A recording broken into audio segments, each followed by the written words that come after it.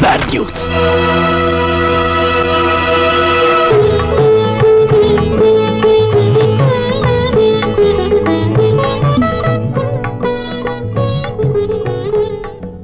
బావా? బావా? హారతి తీసుకో. ముద్దులోకి పెళ్ళ మొగుడికి ఇవ్వాల్సింది ముద్దులు కాని ఆరతి కాదవి. చిప్పో బావా. ముందు హారతి తీసుకో. మ్మ్. ఏం తీసుకోవాలో నాకు బాగా తెలుసు.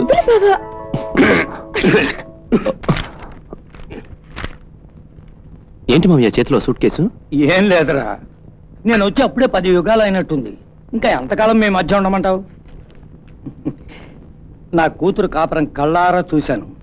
నేను కల్లో కూడా ఊహించనంత ఇంట్లో నా కూతురు చేత కాపురం పెట్టించావు. అంతకంటే ఆనందం ఇంకేం కావాలరా? నాకే కష్టం వచ్చినా నువ్వు ఆదుకున్నావు. అలాంటిది నీ కూతుని కష్టపడతానా మామయ్య? ఈ మాటతో నా కడుపు నిండిపోయింది బాబు. ఇక నిశ్చింతగా మా ఊరు వెళ్ళిపోతాను. ఇంకా రెండు రోజులు ఉండొచ్చు కదా మామయ్య? అక్కడ మాత్రం నీకెవరున్నారు? ఎవరూ లేరు గనక వెళ్తున్నా బాబు. మీ అత్తయ్య బతుకుంటే ఆ ఇంటి మీద దిగులుండేది కాదు. నా కూతుర్ని విడిచిపెట్టి వెళ్తున్నాననే బెంగ ఉండేది కాదు. బెంగెందుకు మామయ్య? ఆనందంగా వెళ్ళిరా. అక్కడ ఉండలేకపోతే ఊళ్ళో వన్నీ అమ్మేసి ఇక్కడికి రా. నీ కూతుర్ని చూసుకుంటూ ఆనందంగా ఇక్కడే ఉండొచ్చు. వద్దు బాబు. ఈ కట్టె ఆ మట్టిలోనే కలిసిపోవాలి. అది నా కడగొట్టు కోరిక. నీ ఇష్టం మామయ్య. నీ ఆఫీస్కి వెళ్తాను. వస్తా. ఆ, అలాగే. చూడమ్మా నువ్వు పుట్టిన దగ్గర నుంచి ఒక్క రోజు కూడా పట్టణంలో ఉండేరగవు అలాంటిది నేను ఒంటరిగా వదిలిపెట్టి వెళ్తున్నాను. అమ్మా మన ఊళ్ళో లాగా ఇంటికి ఎవరన్నా వస్తే లోపలికి వెళ్ళి దాక్కకూడదు. బయటకు వచ్చి వచ్చిన అతిథుల్ని గౌరవించాలి. వాళ్ళని గౌరవించటంలోనే నీ భర్త గౌరవం ఆధారపడింది. మీ అమ్మే బతుకుంటే ఇంకా ఎన్ని శుద్ధులు చెప్పేది? ఈ చదువు లేని తండ్రి ఇంతకంటే ఏం చెప్పలేడమ్మా. వస్తానమ్మా. వెళ్ళరా నాన్న.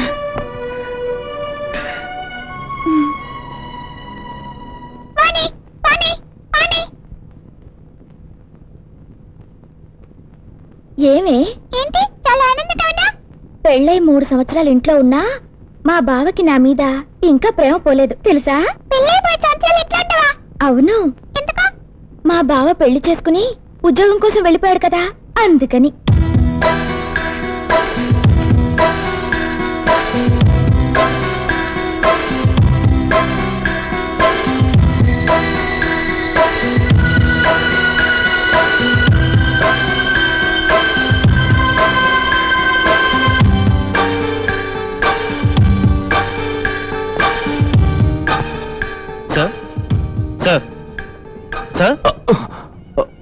ఓ మై గాడ్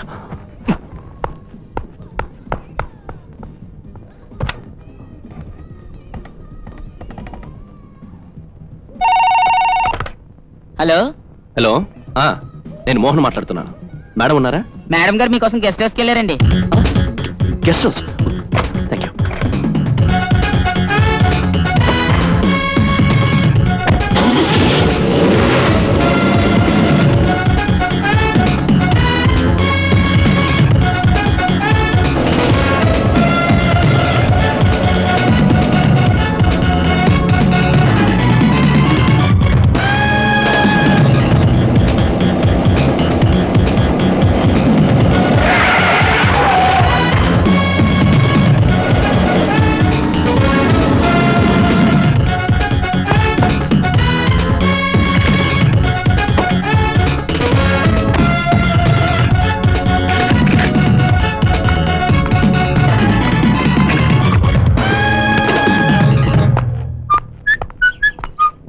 హాయ్ ఊహా.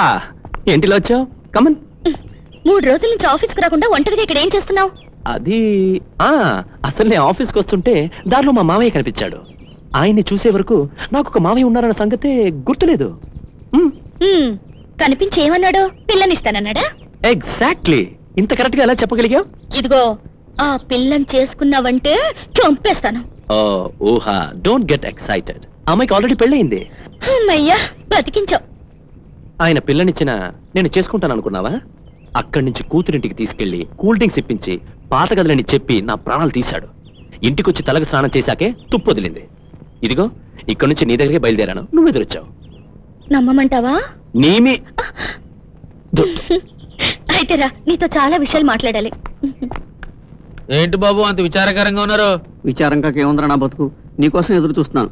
ఒక తలరంగు బాటిల్ ఎవరా ఈ డబ్బుల కోసం నువ్వు రిటైర్మెంట్ దాకా అక్కర్లేదు నెలాఖరికి ఇచ్చేస్తాను. ముగ్గు బుట్ట లాంటి తలతో తిరగలేకపోతున్నాను రా. ఫారెన్ అక్కర్లేదు. ఇండియా చాలు. అయితే ఇదిగో వాడుకోండి. మీ బాధ చూడలేక ఊరింత తిరిగి మరి కొన్నాను. మీకు అందుబాటులో ఉంటే సరే కానీ జాగ్రత్తగా చూసి వాడుకోండి. ఉంటా బాబు. చాలా జాగ్రత్తగా వాడుకుంటాను. బాబాయ్ గారు? అమ్మా దీనికోసం కూడా పోటీకి వచ్చిందేమో అనుకున్నాను. అంత భ్రమ.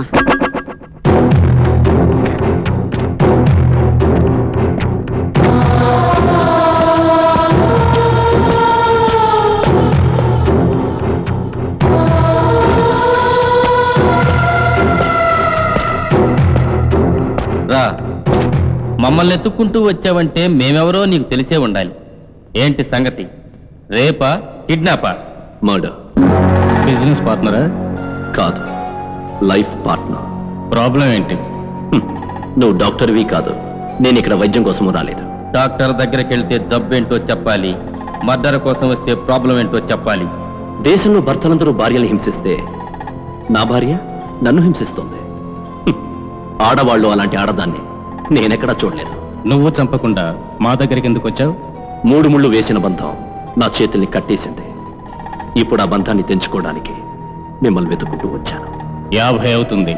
లక్షిస్తాను. అడ్రస్ ఏంటి?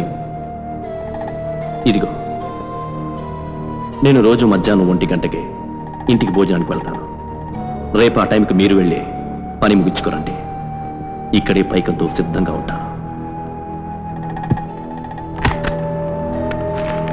take that one. Good night. Okay.